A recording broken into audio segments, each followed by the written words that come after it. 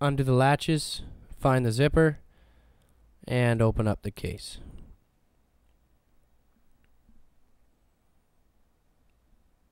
Pull the tripod out of the case. Undo the spreader locks at the bottom of the tripod. And spread the legs out.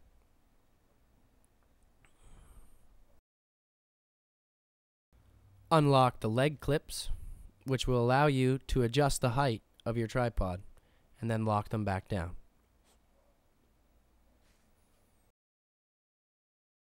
Loosen off the head of the tripod and center the ball in the ball leveler.